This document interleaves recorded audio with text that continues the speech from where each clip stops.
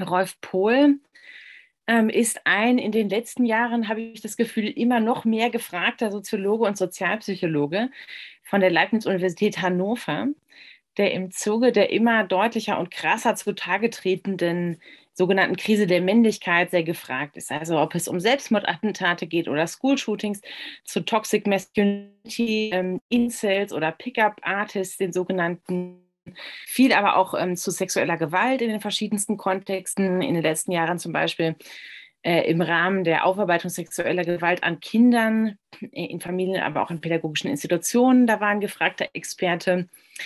Zu Folter und Geschlecht, da erinnere ich mich besonders an seine Beiträge zur Debatte um diese Abu Ghraib, ähm, um diesen Folterskandal und darin die Rolle zum Beispiel von Lindy England. Und generell zu Fragen von Antisemitismus, Rassismus und Fremdenfeindlichkeit, der Massenpsychologie des Rechtspopulismus und ähm, von NS-Täterschaft, wozu wir heute was hören werden. Denn um diese Arbeiten, äh, um diese Themen drehen sich seine Arbeiten, die systematisch in der psychoanalytischen Sozialpsychologie und der politischen Psychologie in Anschluss an Peter Brückner, der seinem akademischen Lehrer, verortet sind. Ähm, Rolf Pohl ist wirklich ein, äh, wenn ich das so sagen kann, ein Hannoveraner Urgestein. Ähm, er studierte dort in den 1970er Jahren Geschichte, Politikwissenschaft, Soziologie und Psychologie, promovierte in den 80ern und habilitierte sich dann Ende der 90er Jahre mit einer Arbeit, die heute Stand der kritischer Männlichkeitsforschung ist, nämlich ähm, dieses, werden wahrscheinlich auch viele kennen, dieses Feindbild Frau, männliche Sexualität, ähm, Gewalt und der des Weiblichen äh, 2004 im Offizien Verlag erschienen. Und wer sich für eine ähm, sozialpsychologische Perspektive auf Männlichkeit interessiert, dem kann ich dieses Werk wirklich nur wärmstens empfehlen. Es finden sich darin sowohl theoretische Grundlagenarbeiten zur Konstitution des Männlichkeitsdilemmas wie auch die Analyse konkreter Inszenierung von Männlichkeit. Und nicht zuletzt entwickelt Rolf in diesem Buch seine Konzeptualisierung der paranoiden Abwehrkampfhandlung in Anlehnung an Chaim Schäten, einen amerikanischen Psychiater, der diesen Begriff äh, im Zusammenhang der Arbeit mit traumatisierten Vietnam-Veteranen verwendet hat. Und Rolf Pohl macht daraus aber viel mehr. Er analysiert mittels dieses Begriffs ein bestimmtes Moment männlichen Konfliktverhaltens. Dann möchte ich vielleicht noch sagen, dass er bis 2017 ähm, als Professor für Sozialpsychologie am Institut für Soziologie an der Uni Hannover tätig war, wo sich in seinen Seminaren und äh, besonders wurde mir gegenüber von seinen SchülerInnen, also ich habe die Freude mit einigen davon, etwa mit Markus Brunner, Jan Loth oder Sebastian Winter, viel zusammenzuarbeiten, da, äh, und ganz besonders prägend ähm, heben die immer hervor, muss dieses metapsychologische Kolloquium gewesen sein. Da muss es sehr abgegangen sein. Das wird immer wieder erwähnt.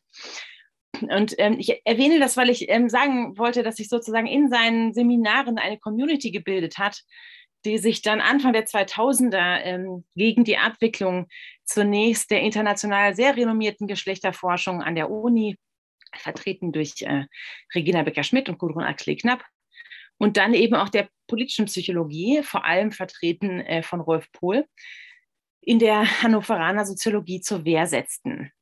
Und so hat sich eine sehr aktive Arbeitsgemeinschaft gegründet, die Arbeitsgemeinschaft Politische Psychologie, ein Zusammenschluss von SozialwissenschaftlerInnen eben der Leibniz-Uni Hannover, auch der Hochschule Hannover, weiterer Hochschulen und Institutionen in, in dem deutschsprachigen Raum. Und da wird dann angeknüpft an Traditionslinien der politischen Psychologie, wie sie in äh, Hannover entwickelt worden sind. Und die werden dann unter aktuellen theoretischen, methodischen Prämissen fortgeführt und in neue Arbeitsfelder eingebracht. Diese AG hat sich quasi um Rolf Pohl herum gegründet und ist seither ein, ja, ein ganz lebendiger Arbeits- und Diskussionszusammenhang.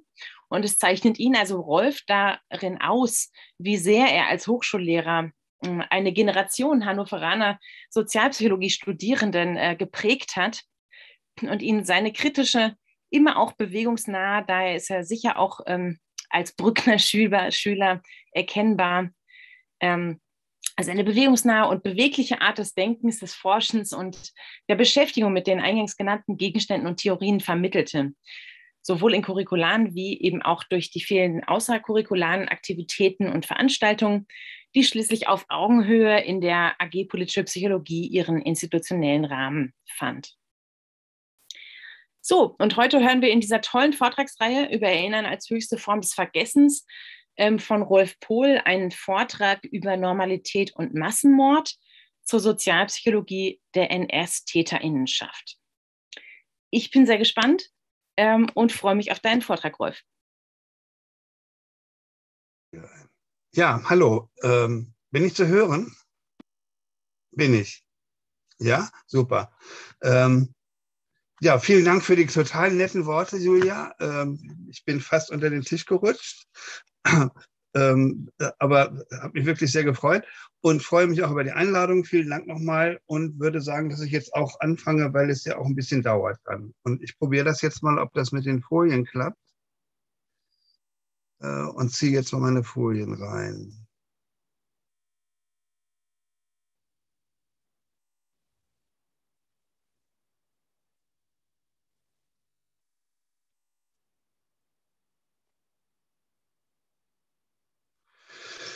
Ähm, ist zu sehen, ja? Äh, Kamera ist noch aus. Kamera ist aus. Folien okay. sind zu sehen. Ah ja, jetzt sehe ich es. Okay, jetzt müsste es eigentlich gehen. Ja, super. Prima. Okay, dann fange ich jetzt einfach an. Ja? Ähm, also das Thema heißt Normalität und Massenmord zur Sozialpsychologie der NS-TäterInnenschaft im Rahmen ihrer Reihe. Äh, auf dem ersten Bild, äh, auf der ersten Folie sehen Sie, äh, vor einigen Jahren sind hier aufgetaucht Bilder von äh, Karl Friedrich Höcker, der hat Fotoalben gemacht äh, in, in, der sogenannten Solarhütte. Das ist ein Erholungskurort, Kurort, Erholungsort für SS-Mitarbeiterinnen und Mitarbeiter in äh, KZ im Auschwitz. Und äh, da sind so Freizeitbilder aufgetaucht. Das fand ich wirklich sehr spannend äh, und interessant sind die auch gerade so nicht wie belustigt und wie nett die Atmosphäre ist und wie normal die Täter dabei aussehen. Anfangen werde ich mit einer Vorbemerkung zu dem Prozess ähm, gegen Adolf Eichmann in Jerusalem und dem, das ist ja auch im Ankündigungstext deutlich, der Hinweis in dem berühmten Bericht über den Prozess von äh, Hannah Arendt. Hannah Arendt hat 1964 betont, dass jeder sehen konnte, Zitat, dass dieser Mann kein Ungeheuer war. Aber, so fährt sie fort, es war in der Tat sehr schwierig, sich des Verdachts zu erwehren, dass man es mit einem Hanswurst zu tun hat. Und ganz ähnlich wie in der Beschreibung Hitlers durch Theodor W. Adorno als eine, Zitat, Mischung aus King Kong und Vorstadtfriseur, weist Hannah Arendt bei Eichmann auf das offenkundige Dilemma zwischen dem namenlosen Entsetzen vor seinen Taten und der unbestreitbaren Lächerlichkeit des Mannes, der sie begangen hatte. Anna Arendt zieht daraus einen Schluss, der im Blick auf die Täterinnen in der jüngeren Geschichtswissenschaft weitgehend Konsens ist. Nämlich, Zitat, diese Mörder waren keine gemeinen Verbrecher, sie waren auch nicht geborene Sadisten oder sonst pervertiert. Man hatte es also mit normalen Menschen zu tun. Auch Robert J. Lifton bestätigt in seiner profunden Studie Ärzte im Dritten Reich die These von der Normalität und der Durchschnittlichkeit der Täter am Beispiel der NS-Mediziner.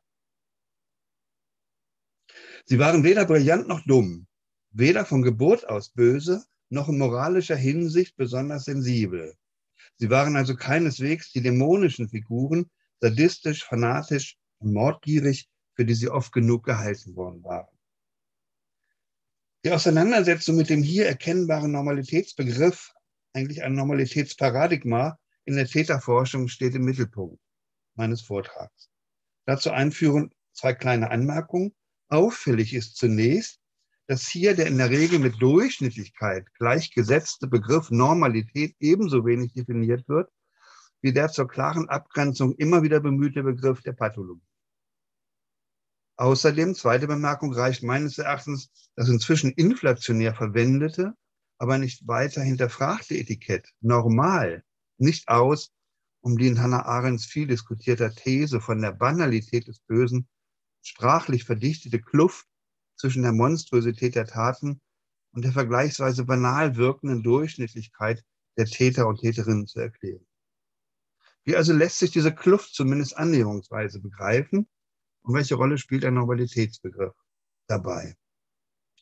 Wenn angeblich absolute Durchschnittsmenschen die schlimmsten Menschheitsverbrechen begehen können, muss das Problem in ihrer psychosozialen Genese und damit ihrer Transformation zum Massenmörder, Massenmörderin sowie den diese Entwicklung fördernden oder sogar einfordernden gesellschaftlichen, politischen und militärischen Bedingungen liegen. Das hatte auch Hannah Arendt im Auge, wenn sie den unbegrenzten Verfügungsanspruch totalitärer Herrschaft für die Errichtung des terroristischen Systems der Lager und die vermeintliche Banalität des Bösen verantwortlich machte. Ein genauer Blick darauf lässt aber erhebliche Zweifel ankommen, aufkommen, ob diese miteinander verzahnte Gesamtentwicklung noch als vollkommen normal bezeichnet werden kann.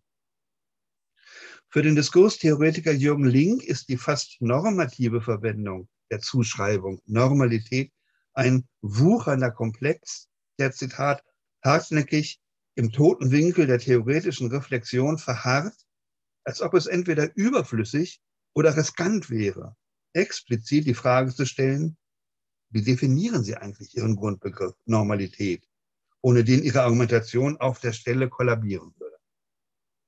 Den Ausgangspunkt meiner kritischen Überlegung bilden, bildet ein weiteres Zitat von Jürgen Link, mit dem er die pauschale und universelle Verwendung des Begriffs Normalität problematisiert.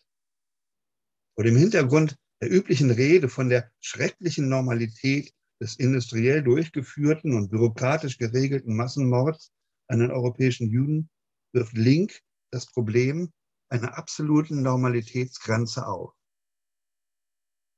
Kann etwas schlechthin alles, auch der Tod, auch der Terror, auch das Grauen, auch der Genozid, dadurch normalisiert erscheinen, dass es partiell und, sek und sektoriell normal funktioniert?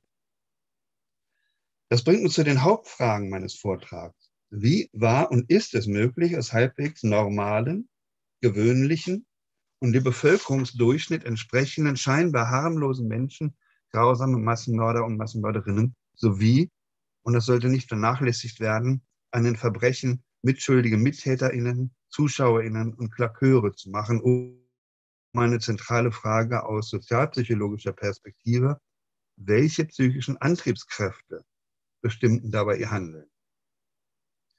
Diesen Fragen werde ich mich in zwei Schritten annähern, wobei hier aus Zeitgründen natürlich nur ein skizzenhafter Überblick möglich ist. Erstens werde ich streiflichtartig die Durchsetzung und die Bedeutung des Normalitätsparadigmas nochmal rekonstruieren. Also ein kurzer Einblick in die Geschichte der Ästheterforschung. Zweitens werde ich dann zumindest in Andeutung die Umrisse einer eigenen Erklärungs, eines eigenen Erklärungsansatzes sozialpsychologischer Art zur Ästheterschaft im Zeichen eines kollektiven paranoiden Wahns skizzieren. Ausgangspunkt ist dabei eine Kritik des meines Erachtens falschen Gegensatzes von normal und pathologisch. Damit komme ich zu meinem ersten Punkt. Der Durchsetzung und Bedeutung des Normalitätsparadigmas in der Täterforschung. Angelehnt an die Überblicksdarstellungen des Historikers Gerhard Paul lassen sich die Entwicklungslinien des öffentlichen und wissenschaftlichen Blicks auf die NS-Täter in drei große, sich überlagernde Phasen einteilen. Die erste Phase erstreckte sich bis circa Anfang der 1960er Jahre und war vor allem durch einen dämonisierenden und pathologisierenden Blick auf die Täter gekennzeichnet. Als verbrecherisch und damit als schuldig galten einige wenige Angehörige der NS-Führungselite, Hitler, Himmler, Heinrich, Göring, Goebbels und so weiter, die Gestapo und die SS, die, so der Historiker Paul, als Hort des Abnormen diabolisiert und damit aus der normalen deutschen Gesellschaft hinaus interpretiert wurden.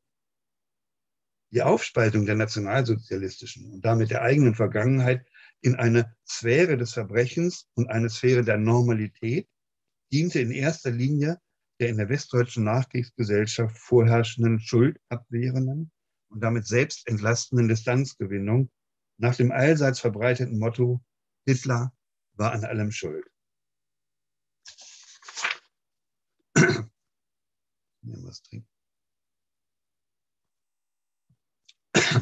Das Täterbild der zweiten, ungefähr vom Beginn der 1960er bis Ende der 1980er Jahre und teilweise darüber hinaus reichenden Phase, war stark von einer Geschichtswissenschaft einer die Geschichtswissenschaft lange Zeit bestimmenden funktionalistisch-strukturalistischen Sicht bestimmt, die eng mit einer starken Tendenz zur Entpersonalisierung des Geschehens verbunden war. Der pathologische Mörder machte nun dem interesselosen und kalt distanzierten bürokratischen Vollstrecker Platz. Bereits in dieser Phase erfolgte eine allmähliche Annäherung an die Normalitätsthese der in den 1990er Jahren folgenden Täterforschung. In den einschlägigen geschichtswissenschaftlichen und soziologischen Untersuchungen bestand weitgehend Konsens darüber, dass es bei der überwiegenden Zahl der Täter der Anschein von einer psychologischen Grunde wenig rätselhaften Normalität und profaner Durchschnittlichkeit gepaart mit einer gewissen Härte sowie einer emotionalen und moralischen Gleichgültigkeit vorgeherrscht haben. In manchen Beschreibungen, so unter anderem die von Sigmund Baumann, gelten die NS-Täter als dienstbeflissene Prototypen des modernen Menschen. Rational, effizient, flexibel und wenn erforderlich auch skrupellos. Individuelle Besonderheiten und irrationale Persönlichkeitsanteile treten in dieser Sicht hinter der These von der Übernahme sozialer Rollenfunktionen nahezu vollständig zurück. Aber auch der Einfluss antisemitischer Ressentiments und destruktiver Hassbereitschaften als regulative Handlungsmotivation ist damit fast vollständig aus dem Blick geraten. Der Funktionalismus hatte in der Täterforschung gewissermaßen gegen den, so wurde es damals immer genannt, dieser Gegensatz, gegen den Intentionalismus gesiegt. Diese in der immer wieder bemühten Zuschreibung einer eiskalten Sachlichkeit des Tötens verdichtetes Täterbild ließ sich gut mit der Theorie der Rationalität bürokratisch-industrieller Funktionsabläufe im Zentrum der den Holocaust bestimmenden Logik der Vernichtung vereinbaren und wurde insbesondere als Prototyp an der Person Aleph Eichmanns und im Auftreten in seinem Prozess in Jerusalem festgemacht. Dieser Ansatz war in der Zeitgeschichtsforschung lange Zeit tonangebend gewesen und zu deren Schlüsselbegriffen avancierte die von Hannah Arendt bereits kurz nach dem Zweiten Weltkrieg verwendeten Bezeichnungen Todesfabriken für die Konzentrationslager und Verwaltungsmassenmord für die gesamte Shoah. In den Mittelpunkt rückte dabei ein Vergleich von Auschwitz mit einem modernen Fabriksystem. Ein Vergleich, der aber meines Erachtens den Unterschied zwischen der industriellen Herstellung mehr oder weniger nützlicher Waren und der Ausrottung von Menschen leichtfertig beiseite schiebt und die inhumane Monstrosität der Taten verschleiert. Die NS-Täter gelten nach diesem instrumentalistischen Ansatz nicht als grausame Exekutoren eines staatlich gelenkten Terrors, zu dessen Grundfesten der Minoritätenmord gehört, sondern lediglich als beflissene und den Zielen ihrer zweckrationalen Tätigkeiten weitgehend indifferent gegenüberstehende, bloße ausführende Organe, gleichsam als affektlose und rational beziehungsweise kognitiv gesteuerte ein Begriff von Harald Welzer, Sozialingenieure des Tötens. Also ein Begriff in Anlehnung an Sigmund Baumann über Rudolf Höss, den Lagerkommandanten von Auschwitz, der in den Augen von Welzer, Zitat, industrielle und bürokratische Funktionsabläufe mit wissenschaftlich fundierter und geschmeidig angepasster Menschenbehandlung zu kombinieren sucht. Das werde ich nicht kommentieren. Der Holocaust wird nach dieser problematischen, aus der vermeintlich wissenschaftlich angeleitete Binnenperspektive der Täter vorgenommenen Sichtweise auf einen rein technischen Vorgang reduziert, dessen kalte Rationalität und Effizienz als ein Produkt des industriellen Modernisierungsprozesses gesehen wird. Gegen diese Gleichsetzung von Zweckrationalität und Normalität in vielen Ansätzen zur NS-Forschung lässt sich mit Adorno von 1962 kritisch anmerken, Zitat, die Überzeugung, Rationalität sei das Normale, ist falsch. Unterm Bann der zähen Irrationalität des Ganzen ist normal auch die Irrationalität des Menschen. Sie und die Zweckrationalität ihrer, ihres praktischen Handelns klaffen weit auseinander. Aber Irrationalität ist stets auf dem Sprung auch diese Zweckrationalität im politischen Verhalten zu überfluten. Das bedeutet für mich, Die Rede über die vollständige Emotionslosigkeit nur dem rationalen Kalkül unterworfener Fachleute des Totentötens ist verkürzt. Ohne die Mobilisierung von Irrationalität, von Hass, Zerstörungslust und der Hoffnung zumindest auf narzisstischen Gewinn können, so meine feste Überzeugung, keine Tötungen und vor allem keine Massenmorde zustande kommen. Das Morden, so meine zentrale These, geschah im Zeichen einer undefinierten Normalität, in die der Wahnsinn eingelagert war und gerade deshalb den Eindruck einer eiskalten Sachlichkeit des Tötens annehmen konnte. Die einzelnen Täter und Täterinnen schienen dabei halbwegs normal geblieben zu sein. Aber wie normal waren sie und die Verhältnisse, die sie hervorgebracht haben, wirklich? In den modernen Bildern der nationalsozialistischen Täter als effiziente, affektlose Erfüllungsgehilfen bürokratisch geregelter Massenvernichtung verdoppelt sich meines Erachtens das gesellschaftliche Verschwinden der Subjekte, ihrer Affektlagen und ihrer irrationalen Bewegungen. Ein hartnäckiger Verzicht auf eine systematische Einbeziehung dieser Subjektdimension unterliegt immer der Gefahr von Rechtfertigung und Entlastung der Täter und kann ungewollt in das Fahrwasser nachträglicher Entschuldung durch Verharmlosung der Täter als bloße Befehlsempfänger oder eilfertige Bürokraten Damit komme ich zur dritten Phase. Die dritte, im Grunde seit Beginn der 90er Jahre bis heute andauernde Phase der Täterdiskussion ist durch eine Wiederentdeckung der subjektiven und vor allem der systematischen Erforschung der biografischen Seite des Täterhandelns gekennzeichnet. Mit ihr wurde aber gleichzeitig die in der zweiten Phase bereits begonnene Hinwendung zu einer exklusiven, also ausschließenden Betonung der vorgeblichen Normalität der Täter abgeschlossen. Eingeleitet wurde diese Entwicklung insbesondere durch Christopher Brownings Untersuchung des Reservepolizeibataillons 101 von 1993, durch Goldhagens, das ist die Gegenposition sozusagen, heftige Kontroversen ausgelöste Studie Hitlers willige Vollstrecker sowie die ebenfalls 96 sowie die ebenfalls heftig und emotional aufgeladen diskutierte Wehrmachtsausstellung ab 1995. Mit dieser Rückgewinnung des Subjekts wurde, so noch einmal Gerhard Paul, das bisherige Paradigma vom bürokratischen, anonymen und industriellen Prozess von den Tätern, die den Massenmord innerlich nicht bejahten oder ihm neutral gegenüberstanden, überwunden, damit aber auch die endgültige Durchsetzung eines unhinterfragten Normalitätsparadigmas in der NS-Täterforschung besiegelt. Das heißt, weder interesselosen Erfüllungsgehilfen noch pathologische Monster oder gar fanatische Judenhasser, sondern ganz gewöhnliche Deutsche, die als eigenständige Akteure des Vernichtungsprozesses unter Gruppendruck, Chorgeist, Alkoholexzessen und anderen situativen Bedingungen in einem dumpfen, durch die brutalisierende Wirkung des Krieges verschärften Klima der Gewalt standen, gelten nun als Prototypen der ansonsten voll normalen NS-Täter.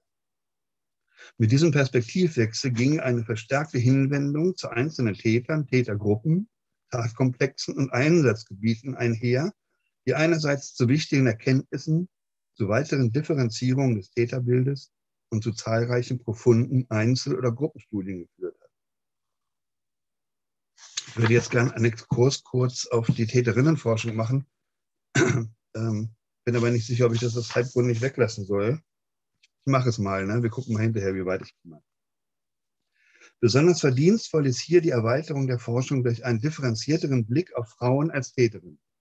Allzu lange wurde die Verstrickung von Frauen in das NS-Unrechtssystem und die direkte Beteiligung an den Verbrechen ignoriert oder marginalisiert und allerhöchstens als pathologisch-sadistische Ausnahmen dämonisiert, wie etwa Oma Grese, die als sogenannte SS-Megere vom Bergen-Belsen Frauen folterte und tötete, oder Ilse Koch, die Hexe vom Buchenwald, die sogenannte. Lange wucherte in der durch bestimmte Positionierung von Teilen der Frauenbewegung und der Frauenforschung bestimmte Mythos, tonangebend waren hier vor allem Gisela Bock und Margarete Mitscherlich, die Frauen im NS hätte aller, die Frauen im NS hätten allerhöchstens als Hausfrau und Mutter besondere Wertschätzung gefunden, seien aber grundsätzlich eher ein Opfer der extrem patriarchalen Verhältnisse im Nationalsozialismus gewesen. Inzwischen, insbesondere ausgelöst durch die Befunde von Claudia Korns, Mütter im Vaterland, hat sich die Erkenntnis durchgesetzt, Frauen wussten, billigten und unterstützten aktiv Verbrechen gegen die Menschlichkeit und es geschah weitgehend freiwillig. Im Schatten der Einsatzgruppen tippten sie als SS-Hilfstruppen Berichte über Massenexekutionen, lenkten mordende Männer mit Hilfe von Alkohol und Späßen von ihrem Geschäft ab.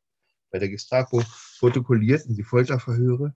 Als Ärztinnen beteiligten sie sich an Menschenversuchen und wirkten aktiv an der Euthanasie mit. Frauen übernahmen bei Judendeportationen die körperlichen Durchsuchungen von Jüdinnen und waren als Aufseherinnen im Frauen-KZ Ravensbrück, wo 42, 43 auch ein Ausbildungslager für sie errichtet wurde. 3500 Frauen wurden hier geschult, um im Gefolge der SS Dienst zu tun, Opfer zu bewachen, zu quälen und zu töten. Das kann ich jetzt hier nicht aus Zeitgründen nicht weiter vertiefen. Ich verweise auf die beiden nach wie vor wichtigen einschlägigen Publikationen im deutschsprachigen Raum von, Kather von Katrin Kompisch und Marita Kraus. Hallo, ich heiße Rolf. Wieso steht das da? Hä? Okay, ich hoffe, das sehen Sie jetzt nicht. Also ich sehe das jetzt gerade. Ich weiß nicht, wie das da reinkommt. Natürlich ist mit dieser Entdeckung die, die, Tatsache nicht aus der Welt, dass der Nationalsozialismus und seine Verbrechen aus der Perspektive der Geschlechterforschung insgesamt eher ein männlich geprägtes Projekt ist. Was sich nicht nur allein an der, an der vergleichbaren Zahlen der Tat, Tatbeteiligung, sondern auch und vor allem an der ambivalenten Rollenzuschreibung der Frau im NS, den Kernbegriffen der NS-Ideologie und der NS-Moral nach Raphael Groß waren das insbesondere Ehre, Treue, Anstand, Kameradschaft und so weiter an maskulinen Führerkultur und anderen Bereichen des NS-Staates festmachen lässt. Aber zum Thema Nationalsozialismus und Geschlecht gibt es inzwischen eine facettenreiche und differenziertere Forschung. Auf jeden Fall stellt sich auch bei den Täterinnen die Frage nach dem Geltungsbereich und der Grenze der aber auch bei ihnen erfolgten Normalitätszuschreibung. Da schreibt irgendeiner in meine Folien rein. Kann das sein? Merkwürdig. Huch. Fotos lachender, flirtender, die Freizeit genießender NS-Helferinnen sind bekannt, wie etwa auf dieser und meiner ersten Folie exemplarisch an den Bildern Höckes aus dem SS-Erholungsheim Sola Hütte bei Auschwitz erkennen ist. Sie wirken als normale junge Frauen, nicht als mordende Bestien, also Frauen, die aus Überzeugung am Mordprozess teil hatten, aber keineswegs als von Natur aus böse Psychopathinnen und damit entschuldbar waren. Also auch hier wieder der ähm, ausschließend konstruierte Gegensatz, entweder bösartig, pathologisch, sadistisch oder eben voll normal. Gilt auch hier die Zuschreibung so Laverne Wolfram stellvertretend in einem Aufsatz über weibliches SS-Personal, ganz normale, ganz gewöhnliche deutsche Frauen aus der Mitte der Gesellschaft,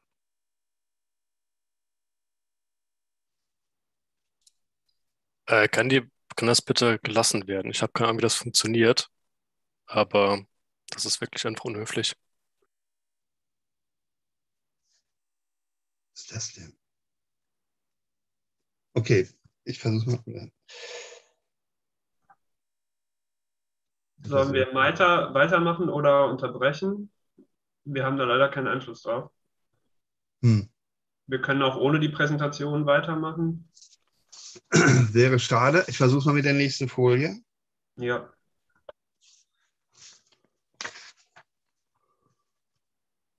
Geht nicht weg.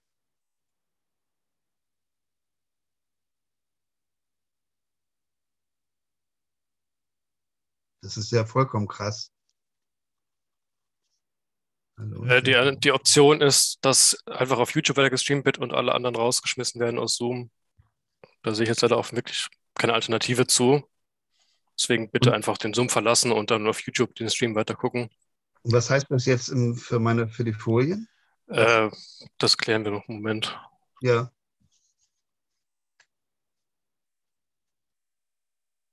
Sehr krass. Auch die Sterne in den Augen. Also ich weiß nicht, also ich weiß nicht, wer das jetzt da macht von euch oder von Ihnen. Ich finde das irgendwie unmöglich. Die gehen alle kurz raus und wieder rein. Das ist eine gute Idee, finde ich.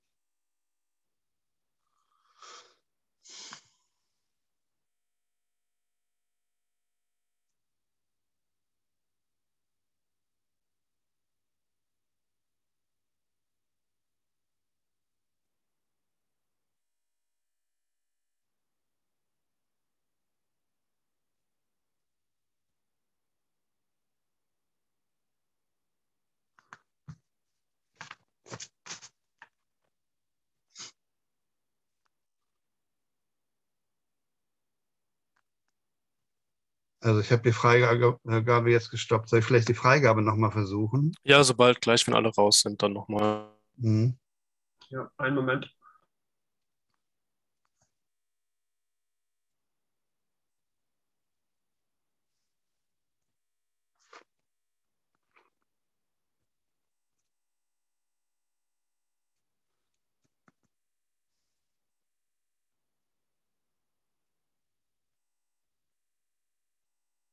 Okay, jetzt nochmal probieren.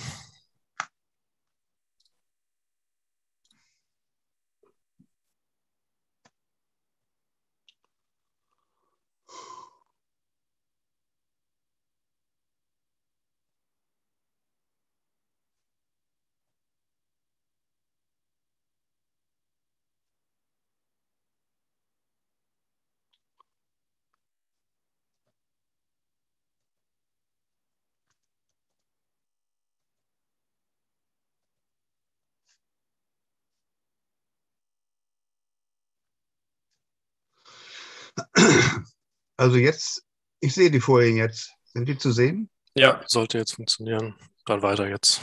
Soll ich einfach weitermachen? Ja, danke. Gut. Also, ich finde das unmöglich. Also, das, äh, dann, dann sag doch etwas dazwischen oder melde dich, wenn die Diskussion kommt. Äh, das, dann, dann, kann man doch, eine, wenn man eine Kritik daran hat, dann kann man die dann äußern. Aber auf diese Art und Weise, das ist einfach infantil und mir leid. Ja, Entschuldigung für die Umstände. Ja, können, da könnt ihr ja nichts dafür. Ähm, jetzt habe ich einen kleinen Exkurs zu dem Zusammenhang von gesellschaftlichen Diskursen, die zurzeit bei uns geführt werden, und diesem Normalitätsbegriff und der Veränderung in der Täterforschung. Der inflationären Rede von der Normalität der Täter und ihrer Durchsetzung korrespondiert ein gesellschaftlicher und politischer Nationaldiskurs in Deutschland, in dem der Begriff Normalität auf den Zusammenhang mit nationaler Identität ähnlich inflationär verwendet und beschworen wird. Der seit der deutschen Vereinigung 1989 verstärkt auftretende und auf die Evozierung positiver Nationalgefühle zielende deutsche Normalisierungsdiskurs läuft unter der Parole endlich wieder ein normales Volk, eine normale Nation und eine normale Gesellschaft zu sein, auf eine vergangenheitspolitische Relativierung von Auschwitz unter anderem durch eine Entkontextualisierung der NS-Verbrechen im Dienste einer neuen Qualität der Schuldabwehr hinaus. Da Auschwitz jetzt nicht mehr geleugnet werden kann und auch soll, liefern diese inflationär geführten Diskursen mit ihrer Beschwörung von Normalität ein begriffliches Instrument, um dessen offenkundig als Lähmung empfundenes Erbe loszuwerden. Die rückblickende Normalisierung der eigenen Geschichte. Aus dieser Perspektive erscheint, so Lars Renzmann, selbst der Holocaust als Normalität, als üblicher Lauf der Dinge, der sich entgegen der historischen Faktizität scheinbar überall hätte ereignen können. Und er wird in universelle Zusammenhänge wie den Völkermord auf dem Balkan gerückt. Einmal relativiert und als Thema der vergleichenden Genozidforschung etabliert, lässt sich Auschwitz überall finden. In Vietnam, in Kambodscha, in Ruanda, im Kosovo und so, und so weiter, worauf vor allem Harald Welzer mit seiner Banalisierung der NS-Täter als beliebige Allerweltstypen, denen eine einzige Verschiebung ihrer äußeren und inneren Koordinaten des Moralsystems genügte, um ihre Mordtätigkeit rational selbst einen Sinn zu messen und außerdem den Anschein vollkommen normaler Arbeitsabläufe zu geben wird aber hier, und das ist ein kleiner Hinweis auf den zweiten Teil dieser Veranstaltungsreihe zum Thema Erinnern als höchste Form des Vergessens ab dem 2. März 2022, wird aber hier unter Bezug auf das gesellschaftliche und politische Normalisierungsbemühung in Deutschland der angedeutete Zusammenhang zwischen wissenschaftlichen und gesellschaftspolitischen Diskursen nicht mitreflektiert, besteht paradoxerweise gerade in der wissenschaftlichen Erinnerungsarbeit, so meine These, ebenfalls die Gefahr einer Reproduktion der den öffentlichen Diskurs bestimmenden schuldabwehrenden Entsorgung der NS-Vergangenheit mit undurchschauten projektiven Anteilen. Das lässt sich auch an Welzers umstrittenen Vorschlag von 2011 zur, Zitat, Modernisierung der Erinnerungs- und Gedenkkultur im Zeichen eines positiven, vom historischen Kontext, von der Opferzentrierung, vom Grauen und von jeglicher Moral abgekoppelten Event- und Spaßmanagements ablesen. Seine Kritik am monumentalisierten Grauen der Vernichtungslager in den Gedenkstätten gleicht übrigens signifikanterweise bis in den sprachlichen Duktus hinein Martin Walsers Hasstiraden gegen die monumentalisierten Denkmäler unserer Schande und seine Kritik an der zur Pflichtübung verkommenen Verwendung von Auschwitz als, als Moralkeule. Hier sehen wir vor allem den medial attraktiven Ausdruck eines, Zitat, dem Zeitgeist angepassten Schlussstrichpostulats, dessen aktuelle Variante wir kürzlich in Björn Hockes, Höckes Forderung einer 180-Grad-Wende im Vergangenheitsdiskurs vorgeführt bekommen haben, sowie in Gaulands Bezeichnung des Holocaust als Vogelschiss der deutschen Geschichte. Auch vor diesem Hintergrund, und damit komme ich zurück zu meiner zentralen These, ergeben sich erhebliche Zweifel an diesem immer wieder beschworenen Normalitätsbegriff in der NS-Forschung. Nach dem Normalitätsparadigma gelten die Täter und Täterinnen als unbeschädigte, eigenständige Akteure des, des Vernichtungsprozesses, bei denen sich persönliche Intentionen, soziale Praxisformen und eine situative und sich eskalierende Gewaltdynamik verdichteten mit Ausnahme der immerhin zugestandenen maximal fünf bis zehn Prozent an echten Pathologen und Sadisten, Sadistinnen, auch bei den Täterinnen, sei das durchgängige Persönlichkeitsbild der Täter eben vollkommen normal. Und deren Antriebskräfte daher nicht von mitgebrachten individualpsychologischen Dispositionen beeinflusst oder gar bestimmt. Die Logik dieser Argumentation ist verblüffend. Gewalttätiges Handeln der Akteure begreifen Paul und Meilmann somit nicht individualpsychologisch, sondern aus psychologischen Dispositionen und Motiven ableitbare Kraft, sondern als eigenständigen situativen Sozialisationsfaktor, als Kraft, die fasziniert, anzieht und die Beteiligten partiell und zeitweise verändert.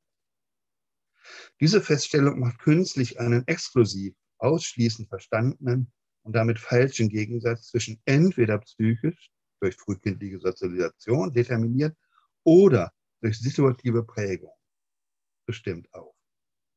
Als maßgeblich erscheinen in dieser Täterforschung im Zeichen des Normalitätsbegriffs nur die konkreten Handlungsfelder und die in ihnen gemachten Erfahrungen, nicht aber eine individualbiografische Untersuchungsperspektive.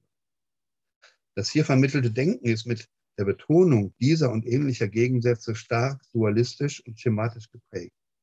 Intention oder Struktur, Disposition oder Situation, Normalität oder Pathologie, rational oder irrational, ideologisch oder ideologiefrei.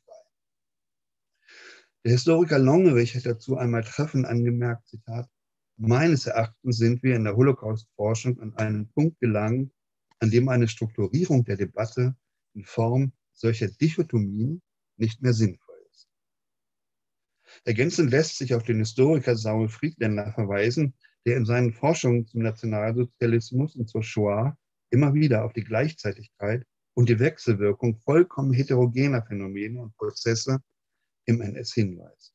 Messianischer Fanatismus und bürokratische Geflissenheit, pathologische Impulse und bürokratische Rationalität sowie archaische Einstellungen neben der Zweckrationalität eines hoch einer hochentwickelten Industriegesellschaft, banale Normalität und eine Monstrosität der Taten in bisher nicht bekanntem Ausmaß. Diese Charakterisierung galten nicht nur strukturell, also für das politische System, die gesellschaftlichen Verhältnisse im NS und den nationalsozialistischen Alltag, sondern eben auch für die Täterinnen und Täter selbst. Diese Differenzierung verschwindet aber in den unhinterfragten Gewissheiten des vorherrschenden Täterdiskurses. Als Begründung für diese Prioritätensetzung genügt alleine der Hinweis auf die zum Leitbild dieser konkret empirisch ausgerichteten Forschung geronnenen Normalität der Täter, Täterinnen. Allerdings ist diese immer wieder beschworene und schlicht mit Durchschnittlichkeit gleichgesetzte vollkommene Normalität auch in der Geschichtswissenschaft nicht gänzlich unumstritten. So weist etwa Longerich in seiner Gesamtdarstellung der NS-Judenverfolgung nach, dass gerade das von Browning und Goldhagen in den Mittelpunkt ihrer Untersuchungen gestellte Reservepolizeibataillon 101 aus Hamburg keineswegs den Durchschnitt ganz gewöhnlicher, nur zufällig rekrutierter Deutscher ohne tiefere Affinität zum Nationalsozialismus und seiner rassistischen Ideologie repräsentiert habe. Brownings Ordinary Man, also die gewöhnlichen Deutschen, und Goldhagens Willing Executioner, die willigen Vollstrecker, stellten sogar eher eine Minderheit dar.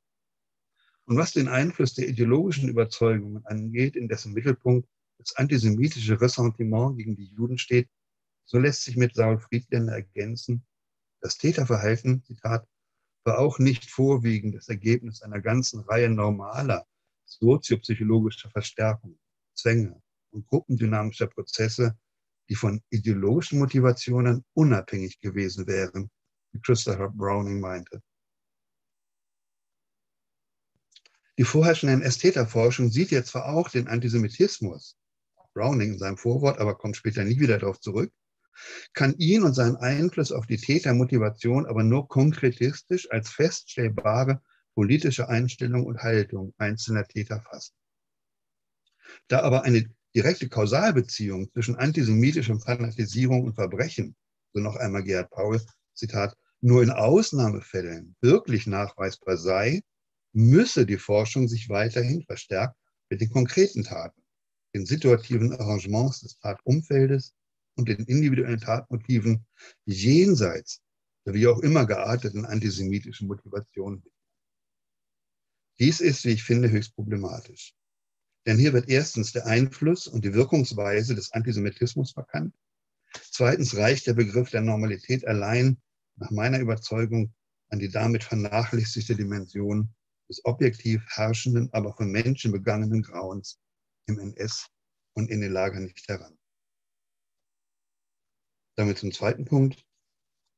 Normalität und Pathologie im Zeichen eines kollektiven Wahns. Wenn wir zumindest annäherungsweise psychologisch und sozialpsychologisch aus einer subjektbezogenen Perspektive erklären, nicht verstehen, erklären wollen, wie aus halbwegs durchschnittlichen Männern und Frauen Massenmörder, Massenmörderinnen im Dienste einer angeblich einer höheren, einer guten, einer notwendigen Sache gemacht wurden, besteht die Hauptaufgabe darin, sich zunächst und vor allem mit jenen unbewussten psychischen Mechanismen auseinanderzusetzen, die zur Abwehr drohender Folgen von inneren und äußeren Konflikterfahrungen verwendet werden und die die Menschen für völkische Propaganda und destruktive Lösungen gesellschaftlicher und persönlicher Krisen anfällig machten. Hier geht es also um die für die Sozialpsychologie klassische Frage nach der Verzahnung von totalitärer Herrschaft, Gesellschaftsstruktur und psychischen Dispositionen der in einer faschistischen Masse aufgehenden Einzelnen ohne die bereitwillige Preisgabe der mühsam erworbenen Fähigkeit zur Menschlichkeit oder Mitmenschlichkeit, wie Mitscherlich das mal formuliert hat in seinem Bericht über den NS-Ärzteprozess, also im Nachwort 1960. Ähm, also nicht, wie können Sie, wie können Sie Ihr lebenslang, Ihr, Ihr mühsam erworbenes Gefühl von Mitmenschlichkeit und Empathie, wie können Sie das so narkotisieren, hat er das da genannt. Ähm, ohne das ist nicht erklärbar. Das heißt auch, ohne eine Gruppen- bzw. massenpsychologische Perspektive und insbesondere ohne eine systematische Berücksichtigung des Antisemitismus als einer die allgemeine alltägliche Wahrnehmung und das gesellschaftliche Klima bestimmenden sozialen Pathologie wird das meines Erachtens nicht möglich sein. Gerade in dieser systematischen, massenpsychologisch wirksamen Verbindung von psychischen Abwehrmustern und Angeboten von Weltanschauungen und scheinbar befreienden, heilenden Handlungsoptionen nach dem Muster eines Massenwahns schafft die fatalen Voraussetzungen für die aktive Beteiligung am Vernichtungskrieg. Eine Analyse dieser Verzahnung sollte unter Subjektperspektive zunächst an einer auch klinisch genaueren Bestimmung des Verhältnisses von Normalität und Pathologie ansetzen. Für diese Bestimmung sind vor allem zwei Erkenntnisse der Psychoanalyse wichtig. Erstens weist Sigmund Freud am Beispiel der Träume und Fehlleistungen auf die grundsätzliche Übereinstimmung zwischen normalen und pathologischen Mechanismen in der Arbeitsweise der psychischen Persönlichkeit hin. Im Mittelpunkt stehen hier die unbewussten psychischen Abwehrmechanismen, deren erste Erscheinungsform und ihre Quellen bereits in der frühesten Kindheit auftreten, worauf ich noch zurückkomme. An dieser Stelle fügt sich die zweite Erkenntnis Freuds über die Verbindung des Pathologischen zur Normalität ein. Das Ich, so lapidar, muss ein normales Ich sein. Aber ein solches Normal-Ich ist, wie die Normalität überhaupt, eine Idealfiktion. Das abnorme, für unsere Absichten unbrauchbare Ich ist leider keine. Jeder Normale ist eben nur durchschnittlich normal. Sein Ich nähert sich dem des Psychotikers in dem oder jenem Stück in größerem oder geringem Ausmaß. Freud zieht daraus eine zentrale Schlussfolgerung, die inzwischen übrigens auch zum allgemeinen Standard selbst der gängigen psychiatrischen Diagnostik gehört. Die Grenze zwischen Normalität und Pathologie ist fließend. Aus beiden Thesen Freuds über das Verhältnis von Normalität und Pathologie folgt, dass pathologische Einsprengsel, wie er das nennt an einigen Stellen, bis hin zu psychotischen Reaktionsbereitschaften zum latenten Kernbestand auch halbwegs normaler Persönlichkeiten, ihrer Wahrnehmungsorganisation und ihres Affekthaushalts gehören. Das heißt, nicht nur die Rationalität, die meistens ja nur mühsam erworben wird, sondern auch und gerade die Irrationalität ist beim Menschen voll normal.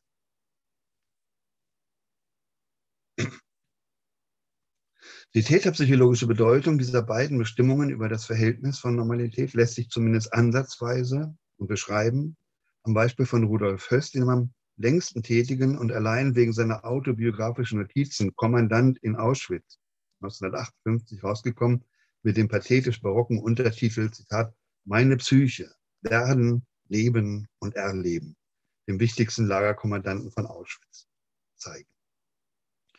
Der Historiker Martin Broschat, also der das Vorwort geschrieben hat und das herausgegeben hat, beschreibt Höss als einen Menschen, Zitat, der alles in allem recht durchschnittlich geahnt, keineswegs bösartig, sondern im Gegenteil ordnungsliebend, pflichtbewusst, das wäre das nicht schon tendenziell pathologisch, tierliebend und naturverbunden, ja auf seine Weise innerlich veranlagt und sogar ausgesprochen moralisch ist, ergo eben normal. Das aber muss offenbar kein Gegensatz sein, denn es stellt sich die Frage, war Höss wirklich nicht nur ein Mörder, sondern auch ein rührender Vater und Ehemann, was als Klischee immer wieder gerne bemüht wird, um seine und die viele andere Nazis vorgebliche Normalität zu belegen? An diesem Bild des braven Familienvaters hat Höss selbst ordentlich mitgestrickt. Und wir wissen noch nicht einmal, ob das zutrifft.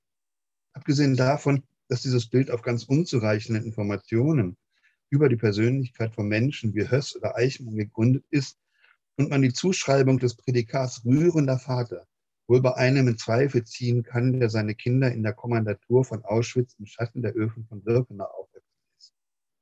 Ist dieses Bild weniger ein Abbild der in Frage stehenden Persönlichkeit als vielmehr eines unserer Schwierigkeiten mit ihm? Zitat, die Monstrosität der Taten dieser Person, so Jan Philipp Remsmar zu diesem Problem, ist von einer Art, dass wir sie nicht zusammenbringen können, dass sie selber nur das Format von Durchschnittsschurken haben. Dem Gerichtspsychologen Gilbert gegenüber bekannte Höss jedenfalls am Rande des Nürnberger Hauptkriegsverbrecherprozesses, Zitat, ich bin völlig normal. Selbst als ich die Ausrettungsaufgabe durchführte, führte ich ein ganz normales Familienleben und so weiter. Er hatte Angst, dass Gilbert ihn psychiatrisch diagnostiziert. Gilbert, der Hoss untersucht hatte, stellte diese Selbstetikettierung des Prototyps eines kleinbürgerlich normalen Menschen, wie Broschert das in dem Vorwort genannt hat, in Frage und vermied einfache Erklärungen nach dem bequemen Entweder-Oder-Muster, das uns in der NS-Täterforschung häufig begegnet. Wenn nicht pathologisch oder sadistisch, dann eben normal. Höss macht auf Gilbert, Zitat, den Gesamteindruck eines Mannes, der geistig normal ist, aber mit einer schizoiden Apathie, Gefühllosigkeit und einem Mangel an Einfühlungsvermögen, wie er kaum weniger extrem bei einem richtigen Schizophrenen auftritt.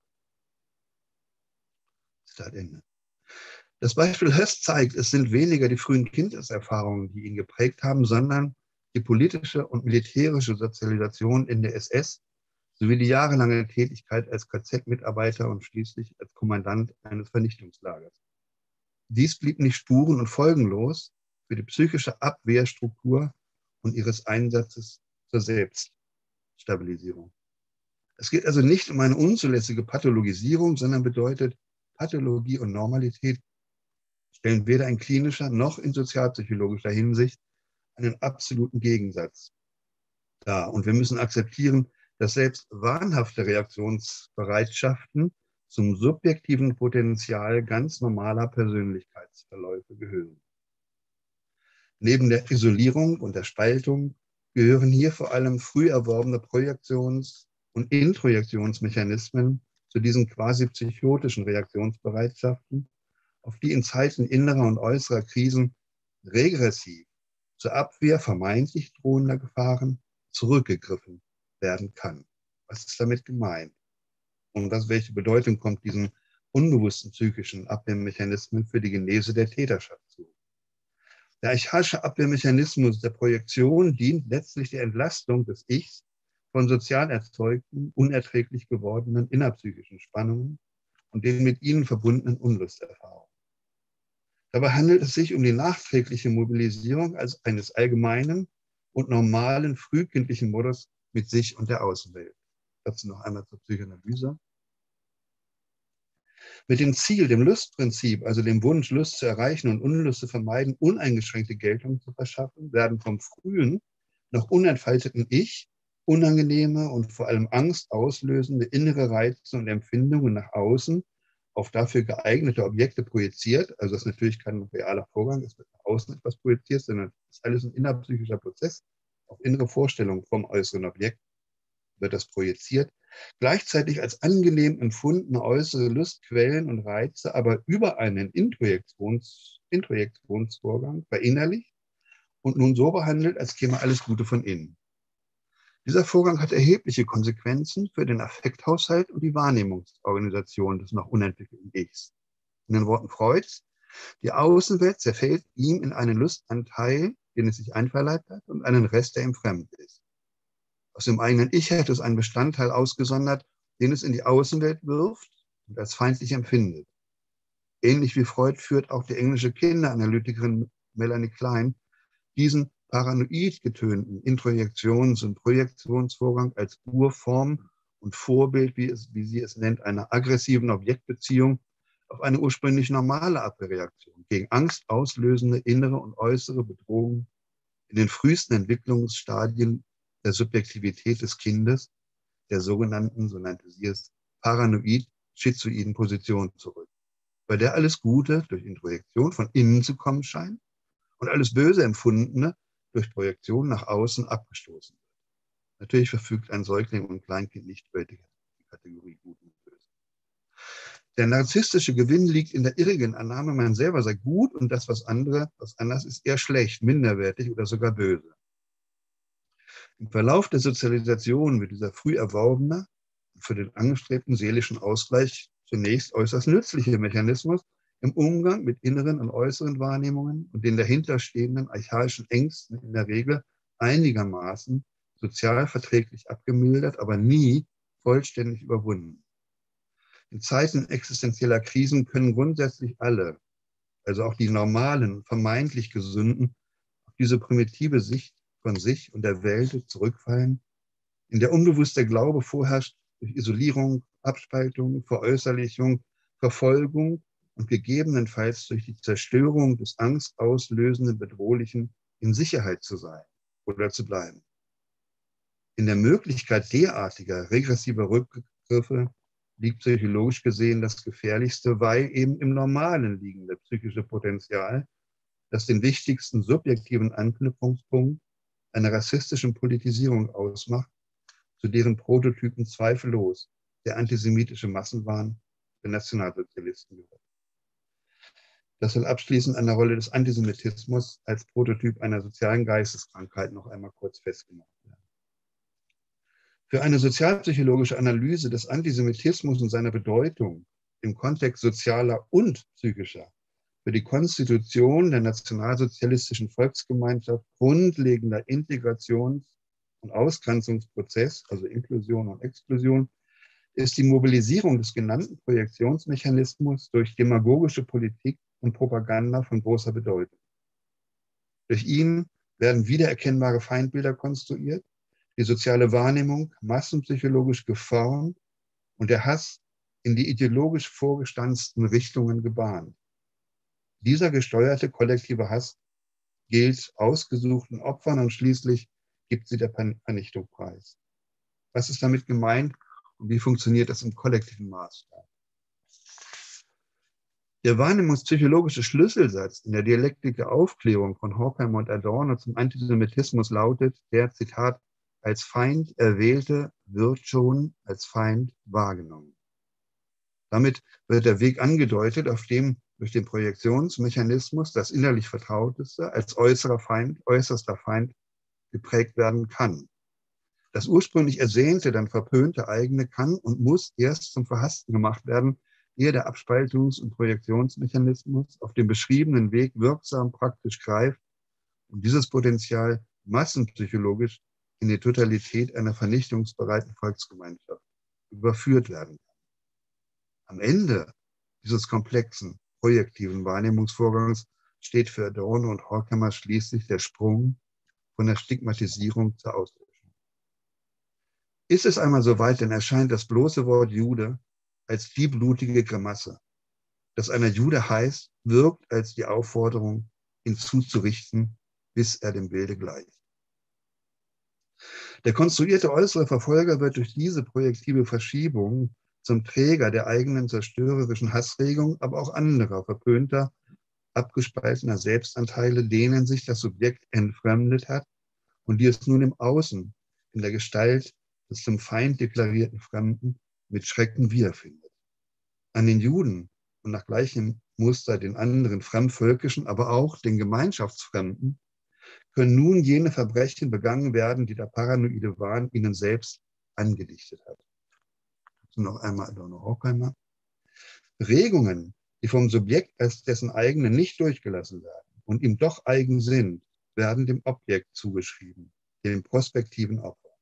Konkreter, ein solcher Projektionsvorgang steht zum Beispiel hinter der Überzeugung der Nationalsozialisten, die Juden würden allem Nichtjüdischen mit absoluter Feindschaft gegenüberstehen und vor allem die Arier ausrotten. Der Antisemitismus muss daher den Juden verfolgen, so die schlichte Pointierung Ernst Simmels, Zitat, weil er selbst sich einbildet, vom Juden verfolgt zu werden.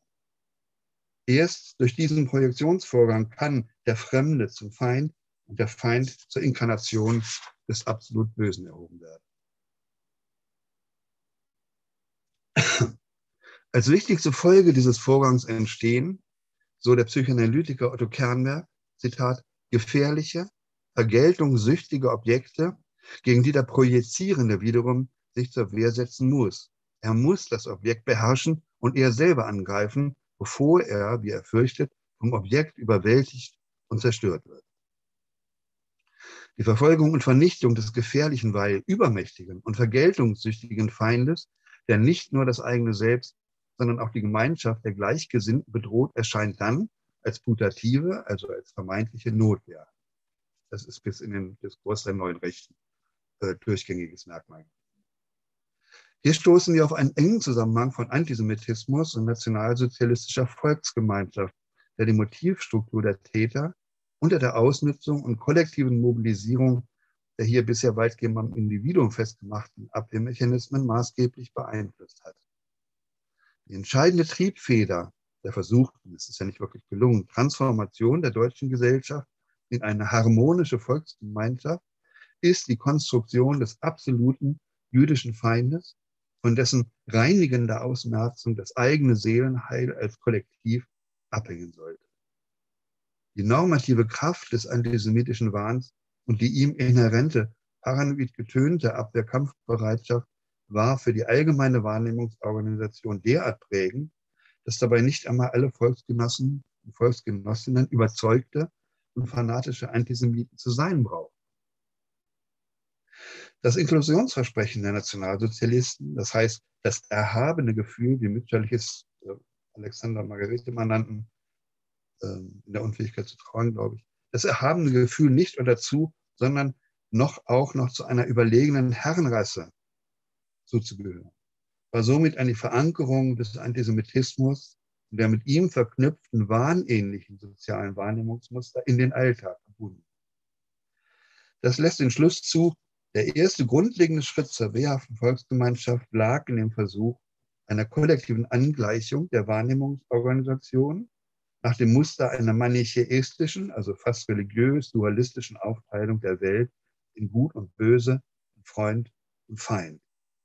Zur Idee und zur Konstitution der nationalsozialistischen Volksgemeinschaft gehörte in der Konsequenz die Ausmerzung von einer erst konstruierten, dann als solche wahrgenommenen Differenz, die nicht an sozialen Gegensätzen und Ungleichheiten, sondern am Bild der Juden als Repräsentanten des anderen schlechthin festgemacht wurden.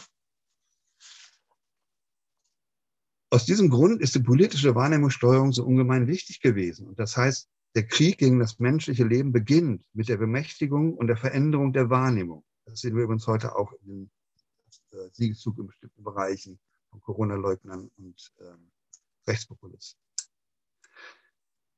Also ich sage nur Stichwort Alternative Facts und äh, äh, wie heißt diese komische zweite Wahrnehmung? Jetzt vergessen.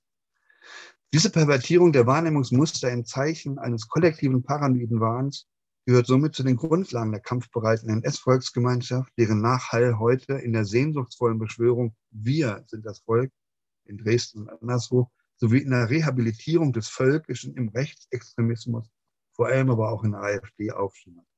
Das bedeutet nicht, dass der daran partizipierende Einzelne aus psychopathologischer Sicht gestört sein muss. Im Gegenteil. Der Anschluss an die Volksgemeinschaft ermöglicht die Beteiligung und die Mitwisserschaft von Massenverbrechen im Zeichen dieses kollektiven Warnsystems, ohne dass die Normalität der Akteure im Sinne einer psychiatrisch auffälligen, durch, unauffälligen Durchschnitts, Durchschnittlichkeit wesentliche Einbußen erfahren muss. Der Wahn, so Isidor Kaminer 1997 in einem Aufsatz Normalität und Nationalsozialismus, der Wahn war Teil der Normalität geworden. Man könnte durchaus die Behauptung aufstellen, dass der Wahnsinn der Gesunden sich an den Geisteskranken und Juden ausdruckte. Die wenig beruhigende Schlussfolgerung daraus lautet, das Absinken in die Barbarei ist faktisch weder ein kollektiver Rückfall in vorzivilisierte Zeiten, noch eine pathologische Regression des Individuums auf eine vorsoziale primitive Stufe seiner Persönlichkeitsentwicklung, sondern vielmehr die Mobilisierung eines zum humanspezifisch und gesellschaftlich normalen zählenden Potenzials. Die Normalpathologie des Einzelnen verträgt sich gut mit einer demagogisch gesteuerten Entmenschlichung und einer möglichen Beteiligung an Massen. Die mit den antisemitischen Stereotypen von niederen Tieren oder auszurottenden Krankheitserregern bereits vorgenommene Dehumanisierung des jüdischen Feindobjekts wird mit diesem steuernden Eingriff in die konfektionierte Wahrnehmungsorganisation gleichsam vollendet. Für Adorno ist der gesellschaftliche Schematismus der Wahrnehmung bei den Antisemiten so geartet, dass sie die Juden überhaupt nicht als Menschen sehen. Eine derartige Dehumanisierung aber, so Adorno weiter, Zitat, enthält bereits den Schlüssel zum Pogrom. Denn die Entrüstung über begangene Grausamkeiten wird umso geringer, je unähnlicher die Betroffenen den normalen Lesern sind, beziehungsweise in der Wahrnehmung scheinen und künstlich gemacht werden. Die gesellschaftliche und politisch erzeugte Pervertierung der Wahrnehmung nach dem Muster einer paranoiden Abwehrkampfhaltung ist der erste Schritt zu einer kollektiv in die Tat umsetzbaren Unmenschlichkeit. Um keine Missverständnisse aufkommen zu lassen, also ich komme jetzt zum Schluss. Die objektiven gesellschaftlichen und politischen Verhältnisse lassen sich selbstverständlich nicht aus dem Seelenleben der Individuen erklären. Und so lässt sich auch der Antisemitismus natürlich nicht aus den Deformationen des Einzelnen ableiten. Allerdings können wir aus einem vorsichtigen Vergleich der Mechanismen von paranoider Psychose und Massenwahn viel über das Funktionieren scheinbar vollkommen normaler Exekutoren einer staatsdoktrinären Vernichtungspolitik und damit über die Antriebskräfte der NS-Täter, TäterInnen als Teil der Logik des Genozids an den europäischen Juden lernen schlagen wir zum Schluss noch einmal einen Bogen zum Anfang des Vortrags und gehen in der dort verkürzt in drei Phasen eingeteilten Zeitleiste des Umgangs mit der NS-Täterschaft noch einen Schritt zurück. Auf einer aufwendigen Konferenz an der Columbia University im Jahr 1944 ging es unter der Überschrift Germany After the War darum, wie es zum Holocaust und den Nazi-Verbrechen kommen konnte und vor allem, wie Deutschland nach der Niederlage, so war der Anspruch, zu therapieren sei. Für die beteiligten Anthropologen, Psychologen, Sozialwissenschaftler, darunter Margaret Mead, Kurt Lewin, Talcott Parsons, Erik Eriksson, Heinz Hartmann und Erich Fromm, stand fest, dass der Charakter jedes einzelnen Deutschen durch so das Zitat, eine schwere geistige Krankheit deformiert sei. Sie konstatierten eine Art Paranoia, ein kollektiv neurotisches, also was natürlich nicht dasselbe ist wie Paranoia, ein neurotisches Abweichen von normalen Verhaltensmustern, wobei der Neurologe Richard M. Bricker im Unterschied zu dieser pauschalen Pathologisierung die Betonung auf eine spezifische Kultur legte, in der, Zitat, verschiedene Handlungen, die andernorts bei paranoiden Menschen zu finden sind, institutionalisiert wurden. Interessanter Ausdruck. Das wirft die spannende Frage auf, mit der sich bereits der Psychoanalytiker Ernst Simmel auseinandergesetzt hat und der hier ein Stück weit unter einer eher subjekttheoretischen Perspektive nachzugehen versucht habe.